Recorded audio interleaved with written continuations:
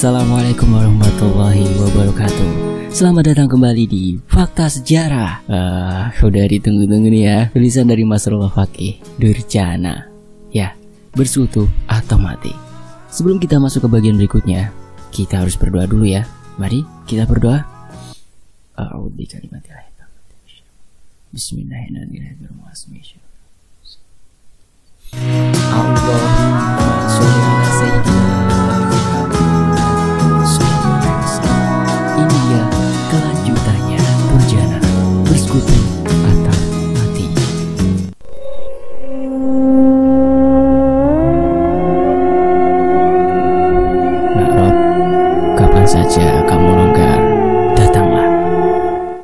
Secari kertas bertuliskan sebuah nama dan alamat terulur dari tangan Mbah Jalil. Sekilas Rodian membaca sebelum melipat dan memasukkan ke dalam saku celananya. Rodian dan Munir kemudian beranjak dari rumah Mbah Jalil. Setelah sederet pesan menjadi satu jawaban atas apa yang Rodian alami, meski tak semua diungkap, setidaknya ada satu titik yang Rodian ketahui. Tepat suara azan subuh berkumandang, Rodian sampai di kediaman Munir. Ia yang masih sedikit trauma dan menyisakan rasa takut memilih untuk tak langsung pulang. Melainkan beristirahat menunggu matahari muncul di rumah Munir. Rasa lelah akhirnya menghantarkan Rodian pada alam ketenangan sementara. Ia pulas, melupakan sejenak beban pikiran yang tak henti dan belum berujung. Entah berapa ratus menit, berapa jam, Rodian hanyut dalam pelukan alam bawah sadar ia tak tahu, ia tak menghitung. Namun ketika ia membuka mata, rasa lelahnya sedikit terobati. Tapi itu hanya sebentar saja. Sebab tak lama ia terbangun dan berniat untuk pulang ke rumahnya. Tertahan oleh suara obrolan serius antara Munir dan istrinya. Rodian yang masih terlihat sayu dan kusut kemudian menghampiri Munir di ruang tamu bersama Gia. Rasa penasaran Rodian seketika mengeliat saat tatapan Munir seolah memberinya sinyal kedukaan. Ngopi dulu, Rod. Ucap Gia seraya bangkit kala melihat Rodian mendekat. Iya, Mbak. Saut Rodian mengiyakan tawaran Gia. Rodian langsung menyandarkan punggungnya di kursi sofa berkulit kalap setelah kepergian Gia. Sejenak, suasana hening. Rodian terdiam menunggu. Menunggu satu kabar yang seketika membuat wajahnya membias pucat. Mbah Jalil meninggal, Rod. Pelan suara Munir, namun bagai mengandung sekarung beras menghantam dada Rodian. Ia terdiam. Dengus nafasnya terdengar berat. Sesak membuatnya tak mampu untuk menyauti. Ingatan Rodian melambung kembali pada pesan-pesan dari Mbah Jalil beberapa jam yang lalu. Masih sangat jelas dalam benaknya Bayangan wajah tua itu yang sudah beberapa kali berusaha menolongnya, tapi kini sosok itu telah pergi, hilang untuk selamanya akibat kebiadaban iblis beragam manusia. Kamu minum dulu kopinya, Rod. Setelah itu kita melayat. Ajakan Munir seketika menyadarkan Rodia. Ia kemudian cepat menyambar segelas kopi hitam yang entah sejak kapan dihidangkan oleh Kia. Tak lama, setelah beberapa teguk Rodian bangkit, bergegas melangkah ke belakang, sekedar untuk membasuh wajah kusutnya. Sepuluh menit kemudian, Rodian dan Munir pun akhirnya berangkat, menyusuri jalanan ramai beberapa saat, hingga tiba di jalanan kampung yang tak beraspal. Kibaran bendera kuning yang terpasang dari sebuah simpang kecil jalan berkerikil menjadi pertanda bila mereka tak jauh lagi dari kediaman Mbah Jalil. Hawa duka langsung terasa menjalari keduanya ketika telah sampai di halaman penuh kerumunan orang-orang berpakaian khas. Setelah menyalami beberapa orang yang menyambut, Rodian dan Munir melangkah menuju ruangan berkubang untayan bunga. Di mana? Di tempat itu, di atas sebuah dipan, membujur tubuh renta Mbah Jalil terbungkus kain putih. Wajahnya yang pasi terlihat sedikit menguratkan ketegangan seperti ada satu kesakitan dan ketakutan luar biasa di detik-detik hembusan nafasnya. Melihat dan meraba hal itu, Munir kemudian mencoba bertanya tentang bagaimana awal kematian Mbah Jalil pada beberapa orang, termasuk kerabat-kerabat dekatnya. Sebab dirinya tahu sebelumnya jika Mbah Jalil baik-baik saja. Namun dari semua yang Munir tanyai, tak ada satupun mengetahui secara pasti. Iringan keranda bertutup kain hijau dengan empat pemikul berjalan perlahan diiringi kalimat tahlil setelah pelaksanaan fardu kifayah. Tak berapa lama, iringan pembawa jenazah Mbah Jalil sampai di lokasi perumahan abadi. Kubur renta tanpa daya Mbah Jalil akhirnya tertanam dalam lubang sempit yang menghimpit. Dari beberapa mereka yang membawa papan penutup dan kayu, sempat akan menancapkan dua buah patok kayu berukir bertuliskan pahatan sebuah nama. Akan tetapi, langsung tertahan oleh seruan Rodian yang tersadar akan pesan-pesan Mbah Jalil. Hal itu seketika menimbulkan perdebatan panjang antara Rodian yang hanya dibantu Munir dengan beberapa kerabat Mbah Jalil serta puluhan pelayat yang masih berada di tempat itu. Mereka bersikeras bila dua buah patok kayu yang telah tertulis nama lengkap serta tanggal lahir dan kematian Mbah Jalil tetap sebagai tetengar. Mereka tak memperdulikan ucapan Rodian dan Munir yang menginginkan sebuah batu kali sebagai nisan sesuai cerita dan pesan Mbah Jalil. Rodian dan Munir yang menganggap bila kematian Mbah Jalil adalah sebagai cecer payung pertama. Kalah jumlah, keduanya tak mampu menahan pendapat dan kehendak keluarga yang bersikukuh tanpa tahu satu cerita di balik keinginan Rodian dan Munir. Hingga akhirnya, dua buah nisan kayu terpasang tegak membujur ujung utara dan selatan di atas gundukan tanah bertapur bunga menjadi akhir dari prosesi pemakaman Mbah Jalil. Bagaimana ini Rod? Aku takut jika ini bakal menjadi hal buruk sebab kita tak mengindahkan pesan beliau. Pelan dan lirih suara Munir saat sudah mundur dari lokasi pemakaman. Entah kan, saya juga bingung. Jawab Rodian yang masih menatapi kuburan Mbah Jalil. Hela napas panjang menyudahi pandangan Rodian di area pemakaman. Ia kemudian mengajak Munir beranjak pulang tanpa berpamitan dengan beberapa anggota keluarga Mbah Jalil yang masih berada di tempat itu. Setelah mengantar Munir sampai di depan rumahnya, Rodian langsung berpamitan untuk pulang. Sepanjang perjalanan, pikiran Rodian berkecamuk. Ia terus menduga-duga tentang kematian Mbah Jalil. Tak luput hatinya merasa tak nyaman, mengingat jika benar kematiannya sebagai cecer payung, maka bakal akan ada kematian-kematian selanjutnya menyusul. Perasaan tak enak semakin Rodian rasakan ketika dirinya telah sampai di rumah. Melangkah masuk dan tiba-tiba memunculkan bayangan empat sosok hitam pemikul keranda lekat di pelupuk mata. Meski saat itu masih siang dengan tebaran menyengat sang surya, tapi tubuh Rodian serasa berada di dalam gua, dingin dan lembab. Hal itu sejenak memicu keraguan dirinya untuk mengguyur tubuh di kamar mandi. Namun mengingat telah hampir dua hari tubuhnya tak terbasuh air, ia pun nekat melawan takut. Satu ingatan sesaat menyelip di pikiran Rodian ketika akan melepas celana jeans berwarna pudar.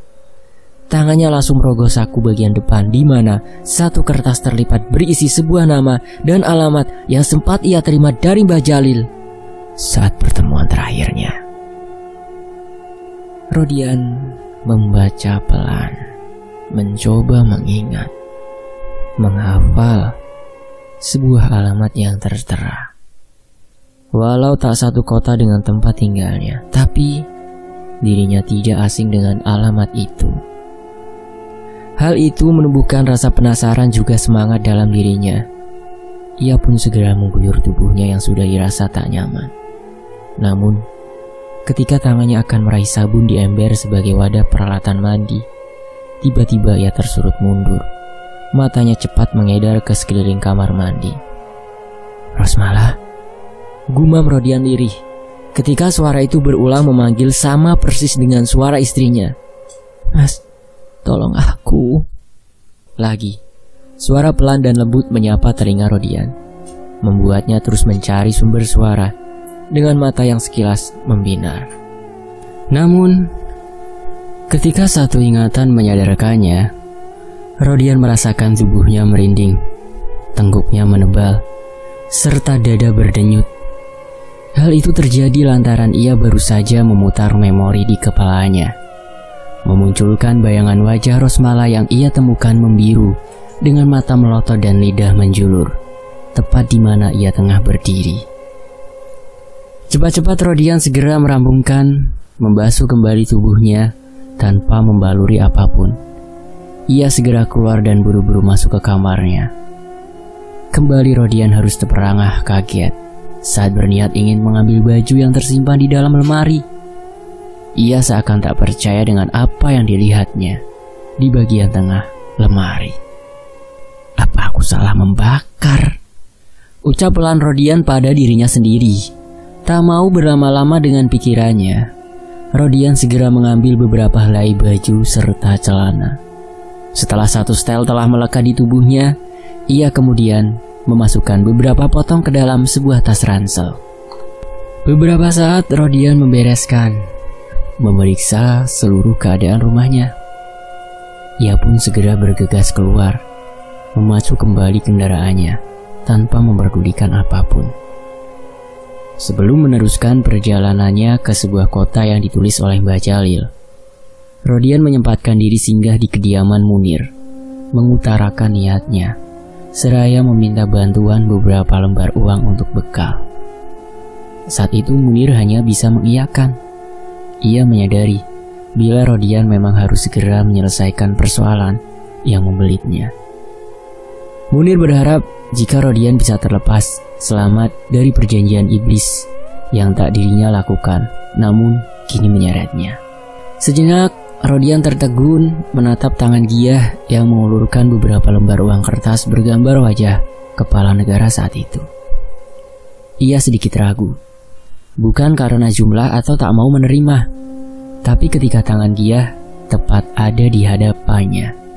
Hidungnya membaui satu aroma yang tak asing dari tangan dan tubuh Kia. Kenapa, Rod? Tanya Munir yang melihat wajah Rodian sedikit aneh. Gak apa-apa, Kang. Terima kasih sebelumnya. Jawab Rodian sambil menerima lembaran uang dari tangan Gia. Tak sampai lima tarikan nafas, atau saat Gia duduk di samping Munir. Lagi-lagi, Rodian terkesiap. Matanya sedikit melebar Bibirnya terkatup rapat, seperti ada ketakutan yang menyibak. Rod, apa ada yang aneh dengan Mbak? Kali ini Gia sendiri yang melihat Rodian sedari awal kemunculannya, memandang aneh, bertanya. Rodian terdiam. Sebentar ia memalingkan wajah, berpura-pura menatap ke arah luar, berharap agar apa yang dirinya lihat kesalahan bola matanya. Namun, hal itu tak membuahkan hasil. Sebab saat ia kembali memalingkan wajah, Rodian masih melihat wajah Gia seputih mayat. Tak hanya itu, kini Rodian juga melihat kulit luar bola mata Gia menghitam dan dari tubuhnya menebar pekat aroma wangi bunga kamboja bercampur bau pandan. Saat itu, kala melihat keanehan dalam diri Gia, muncul keinginan Rodian untuk menunda kepergiannya. Namun, Atas desakan Munir yang tak mengerti dengan alasan serta apa yang Rodian lihat, ia pun terpaksa menurut, pamit, dan segera bergegas beriring perasaan tak enak. Semoga perjalananmu lancar, tidak terhalang oleh apa pun, Rod. Tulus kalimat doa teriring dari bibir Munir. Berbanding balik dengan dia yang saat itu berdiri bersampingan dengan Munir di depan pintu. Dari bibirnya, senyum tipis mengembang yang berangsur menjadi sebuah seringayan sinis melepas kepergian Rodian. Deru gerung mesin dua tak menjadi teman dalam perjalanan Rodian. Ia tak peduli dengan jarak tempuh yang lumayan jauh, meski hanya bersama kuda besinya.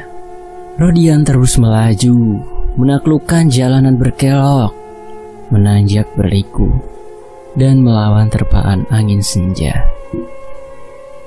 Sesampainya di sebuah kota kecil dengan warung-warung berderet, Rodian berhenti sebentar mengisi bekal tubuh dan kuda besinya sebelum meneruskan perjalanan. Tak berapa lama, selang kurang lebih 7 km dari tempatnya berhenti, Rodian memasuki sebuah hutan yang cukup lebat. Waktu yang telah memasuki surup, sedikit membuat Rodian was-was. Ia mengencangkan laju motor dengan bantuan pancaran jarak jauh lampu bulat yang menggantung dan menyorotkan cahayanya ke depan. 100 hingga 1 km dari mulai masuk ke dalam hutan, Rodian tak merasakan hal aneh apa pun. Namun, Ketika ia melewati sebuah tugu pendek bersusun batu bata menguncup di sisi kiri, Rodian baru merasakan suasana berbeda, anyep dan lembab. Sangat dirasa Rodian hawa di sepanjang jalan itu. Ditambah tak adanya satupun pengendara lain yang ia temui. Semakin menjadikan perasaan Rodian ngedap. Tak ada pilihan lain bagi Rodian untuk tak melewati jalanan dengan rimbunan beserta pohon-pohon tinggi menjulang ibarat raksasa berbaris, sebab tempat yang bakal ditujunya memang harus melewati tempat itu. Rodian tahu dan sering mendengar cerita yang beredar luas tentang hutan berjarak lima belasan kilo dari ujung ke ujung. Keangkerannya, ketajaman saat menikung, juga kabut tebal yang biasa muncul secara tiba-tiba. Mengingat semua hal itu, Rodian mulai sangat berhati-hati Matanya menyorot tajam, dengan kewaspadaan yang tak ingin terlengahkan. Namun sial, tak dapat terhadap. Saat tiba-tiba saja satu bayangan melintas cepat di hadapan Rodian, membuatnya terkejut, sampai menghentikan kuda besinya secara mendadak. Sedikit beruntung Rodian mampu menjaga keseimbangan, hingga tak membuatnya terperosok. Tapi sejenak, keberuntungan itu harus kembali dibayar oleh rasa kagetnya. Kali ini, Tak hanya matanya melotot lebar, namun juga dibarengi tubuhnya yang dingin tercekat, menyaksikan satu bayangan baru melintas yang adalah sebuah kepala tanpa badan, berias rambut panjang melintang, syukuran lebar jalan beraspal yang tengah dilewati Rodian. Pucat pasti tubuh Rodian, bibirnya terkatup rapat, tak mampu berucap. Melihat kepala itu meringis sembari dua bola matanya yang lepas tetapi masih menggantung, menatap liar ke arahnya. Tawa ngikik, tak lama menggema di seantero tempat itu, membuat lutut Rodian gemetar, lemah seperti tak bertulang. Rodian benar-benar tak berdaya. Ia hanya mampu memalingkan wajah tanpa bisa bergerak ketika potongan kepala itu beranjak terangkat setinggi dadanya. Kikikannya semakin nyaring melengking saat tepat tinggal sejengkal jarak dengan wajah Rodian.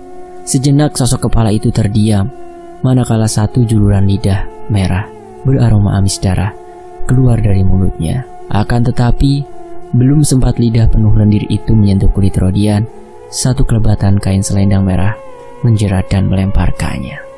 Terdengar keras suara benturan potongan kepala terlempar menghantam tanah yang sebelumnya sempat menerjang rimbunan. Tak berapa lama, jeritan melengking menyayat jiwa terdengar nyaring memekakan telinga. Membuat Rodian tersadar bila sesuatu telah menimpa makhluk tak berbadan yang hampir mencelakainya. Perlahan, Rodian memalingkan wajah.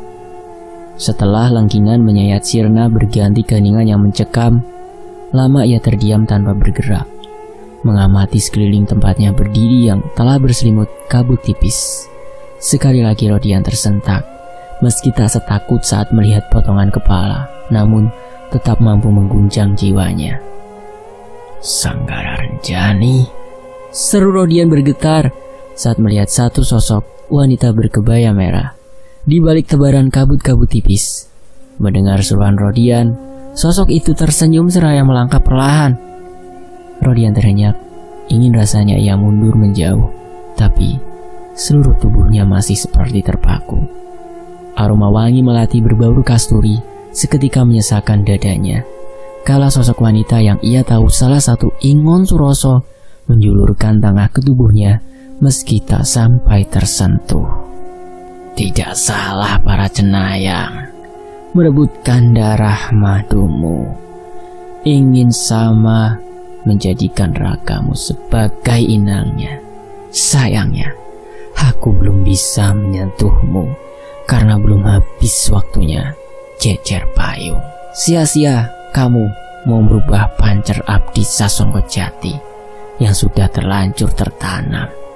Kamu tak bisa lepas, tidak bisa lari, karena darahmu sudah tertandai sedari kamu lahir dan pancer baturmu. Pelan dan bertalu, suara sosok wanita berkebaya merah, namun terdengar sengit di telinga Rodian dan seperti mencekik lehernya. Rodian tak menyangka bila ucapan dan suara yang pertama dirinya dengar dari sosok wanita itu lebih sadis dari sosok lelaki tua Abdi Suroso. Membuat Rodian menahan geram bercampur takut tanpa mampu menjawab apa-apa. Teruskan keinginan mencari pertolongan nasibmu. Baiknya bertemu bisa pecah, tetapi tidak akan hancur terbelah. Ingat-ingatlah, semua nyawa yang tersedia dan musnah karena jejer payung. Itu sebab sudah jadi kepastian dari persetujuanmu minum air kawah gelangan limau. Rodian terhenyak semakin tercekam. Jiwanya meronta seperti ingin berteriak, menjerit dan mengumpat. Membuncahkan rasa takut dan tertekan yang telah terpendam, terkumpul, bergembuk dalam batin. Tapi semua itu hanya bisa dirinya lakukan dalam hati dalam buliran air bening yang mengalir pelan tanpa mampu menggerakkan lidah. Satu jentikan jari dari sosok Sanggara Renjani menandai kemunculan sesosok wanita berdandan layaknya seorang sinden, bertapih kain jarik dengan rambut bergelung bulat. Sebuah tembang macapat seketika meluncur dari bibir hitamnya, yang kemudian disambut liukan tangan selaras kedua kaki Sanggara Renjani, membuat gerakan tarian yang aneh bagi Rodian. Mendadak saja tempat itu berubah. Nuansa alam hutan yang dipenuhi rimbunan pongkahnya pohon-pohon menjulang tiba-tiba lenyap, berganti riuhnya sorak-sorai dari makhluk-makhluk berambut panjang rata yang berkubang layaknya mengitari sebuah arena. Duh, sayang sekali teman-teman belum bisa melanjutkan kisah ini. Doain ya agar Ustadz Masrullah Fakih segera bisa meneruskan kisah berjana ini. Teman-teman bisa ikut komen kok di Facebooknya. Untuk linknya sudah admin sediakan ya di deskripsi. Bantu komen sama Ustadz Masrullah supaya bisa melanjutkan kisah ini sampai selesai ya. Dan juga itu tuh yang satunya lagi warisan terakhir ya teman-teman ya. Sampai di sini dulu. Mudah-mudahan satu atau dua hari lagi Ustadz Masrowo segera melanjutkan kisah ini.